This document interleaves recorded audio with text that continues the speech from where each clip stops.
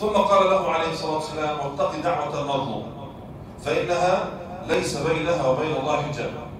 دعوة المظلوم يا إخوة يستجيب الله تعالى دعوة المظلوم ولو كانت من إنسان فاجر إذا كان إنسان هذا الداعي المظلوم إذا كان مظلوما ولو كان فاجرا فإنها تستجاب من الله سبحانه وتعالى. وفي حديث آخر قال عليه الصلاة والسلام اتقوا دعوة مظلوم فإنها تصعد إلى الله كأنها شرارة. وكم من مظلوم دعا على من ظلمه فقصم الله ظهر الظالم. فلا بد أن يحذر الإنسان يحذر من ظلم العباد لأن الظلم يوم القيامة ظلمات. ولأن الله عز وجل قال يا عبادي إني حرمت الظلم على نفسي وجعلت بينكم محرما فلا تظالموا.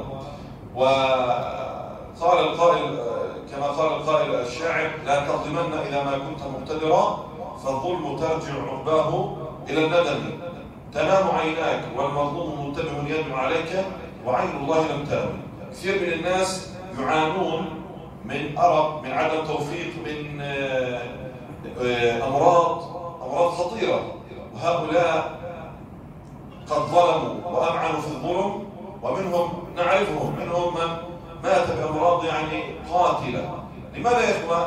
لأن الله سبحانه وتعالى استجاب دعاء المظلوم الذي ظلم والذي وقع في ظلمه هذا الإنسان فلا بد أن يحذر الإنسان من الظلم لأن الظلم ظلمات يوم القيامة وصلى الله وسلم على نبينا محمد وعلى آله وصحبه أجمعين